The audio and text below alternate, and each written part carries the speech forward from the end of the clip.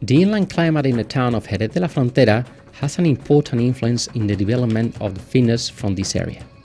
Its long hot summers and mild but wet winters provide a more rounded and fuller style of wine.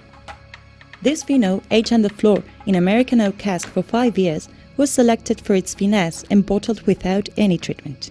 With an attractive, bright straw color, this wine shows the archetypical mineral aromas of those Finos from Jerez.